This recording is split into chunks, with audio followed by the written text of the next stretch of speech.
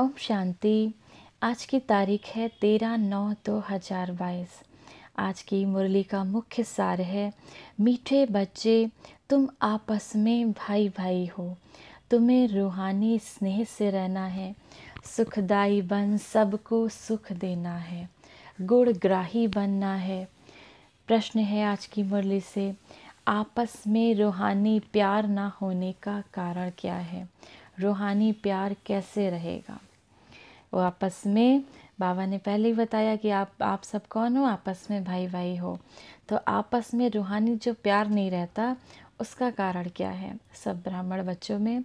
तो बाबा कहते हैं, कैसे प्यार होगा? उत्तर, देह अभिमान के कारण जब एक दो की खामियाँ देखते हो, एक दो की कमियाँ देखते हो, तब रूहानी प्यार नहीं रहता। जब आत्म अभिमानी बनते हो, जब स्वयं को आत्मा समझते हो और दूसरे को भी आत्मा देखते हो, तब स्वयं की खामियाँ निकालने का फुरना रहता है। जब आत्म अभिमानी बनते हो तो अपनी कमियाँ निकालने का फुरना लगा रहता है, लगन रहती है। सतो प्रधान बनने का लक्ष्य रहता है।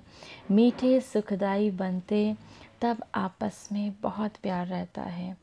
बाबा की श्रीमत है, बच्चे, किसी के अवगुण मत देखो। गुणवान बनने और बनाने का लक्ष्य रखो। सबसे जास्ती गुण एक शिव बाबा में है। बाबा से गुण ग्रहण करते रहो और सब बातों को छोड़ दो तो प्यार से रह सकेंगे। बाबा से गुण ग्रहण करते रहो और सब बातों को छोड़ दो तो प्यार से रह सकेंगे। धारणा के लिए मुख्य सार है। पहला, बाबा से ऐसा लव रखना है, बाबा से ऐसा प्यार रखना है, जो एक बाबा से ही सदा चटके रहें।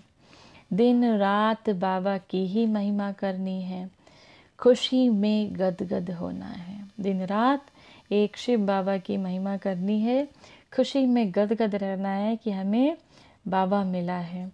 दूसरा एक बाबा की अव्यविचारी याद में रहकर आत्मा को सतो प्रधान बनाना है।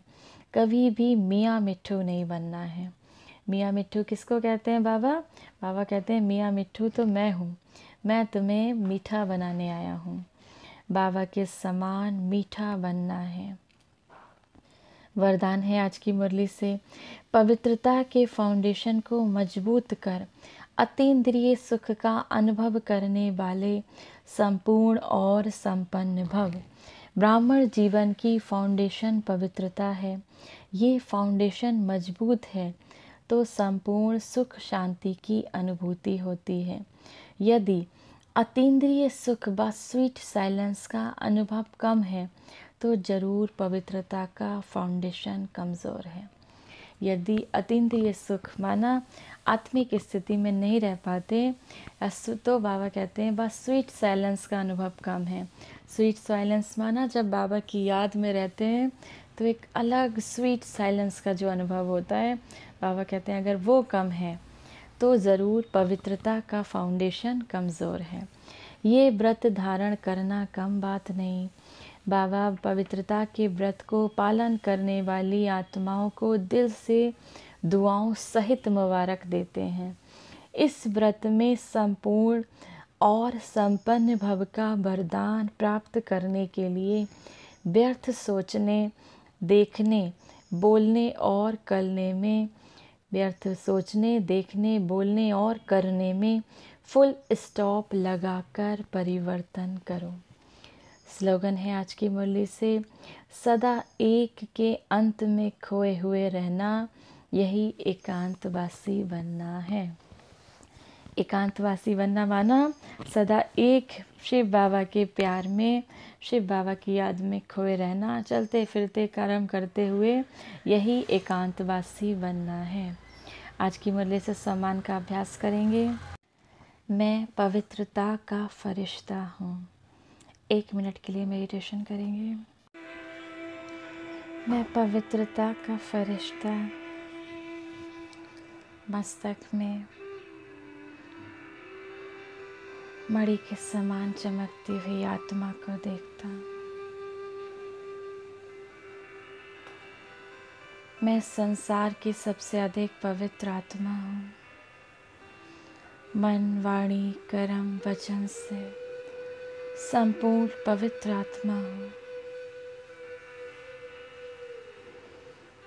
जितना जितना मैं आत्मा पवित्रता के व्रत को धारण करती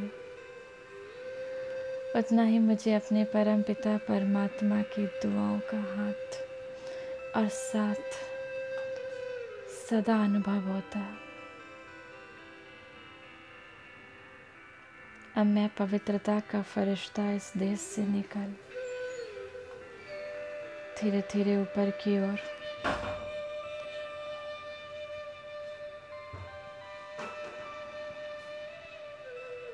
धीरे धीरे ऊपर की ओर आसमान से पार।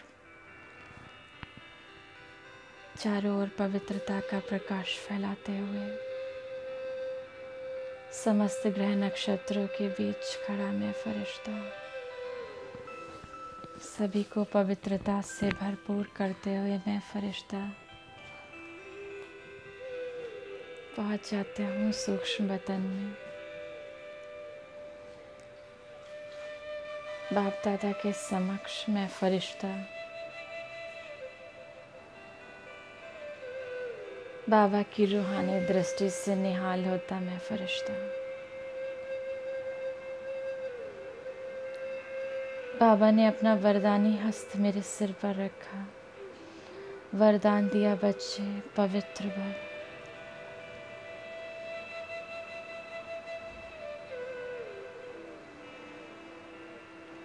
बाबा के हाथ से अनंत शक्तियों की किरणें मेरे मस्तक मर जा रही हैं। मैं आत्मा और शक्तिशाली बनती जा रही हूँ।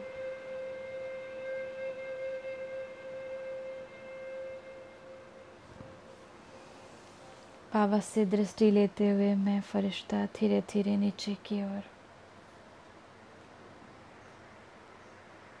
पुनः समा जाते हैं उस देह में। ओम।